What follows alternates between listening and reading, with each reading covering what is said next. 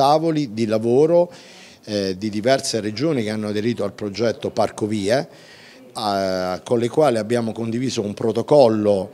eh, d'intesa che ha portato alla realizzazione di un vero e proprio catalogo su come realizzare le parcovie eh, che è oggetto eh, regione per regione della capacità di finanziamento e di realizzazione dell'opera, ovvero ritracciare materialmente il cammino, infrastrutturandolo ovviamente, rendendolo fruibile senza disturbare il transito e l'attività delle greggi e dei pastori, per arrivare dove? Per arrivare al riconoscimento materiale della transumanza quale patrimonio dell'UNESCO. Il presidente del Consiglio regionale Lorenzo Sospiri rilancia l'idea della transumanza quale patrimonio materiale dell'UNESCO. L'ho fatto incontrando la stampa nei giorni scorsi all'Aquila insieme ad Ambrogio Sparagna, direttore artistico del Festival della Transumanza, tra la transumanza che unisce. L'evento è giunto alla terza edizione, si snoderà tra luglio e agosto con location allestite in 15 comuni dislocati in tutte le province abruzzesi. L'iniziativa è promossa e finanziata dal Consiglio regionale con l'obiettivo di riqualificare, recuperare e valorizzare le antiche vie della transumanza e dei suoi luoghi in chiave turistica e culturale. Voglio ricordare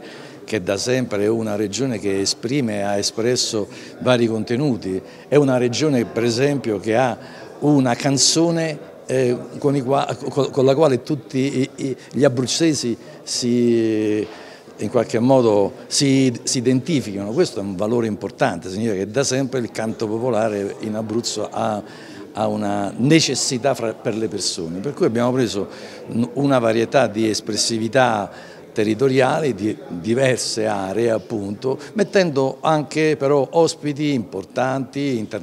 della scena nazionale ma anche ospiti internazionali in un ragionamento in cui non è soltanto la musica protagonista ma sono i luoghi dove questa musica eh, viene realizzata perché come ho avuto modo di dire questa musica ha bisogno di contesti, la musica popolare vive solo in ragione del contesto in cui questa si manifesta. Senza il contesto diventa un esercizio di retorica estetica che però non, è, non ha lo stesso valore, non ha la stessa radice.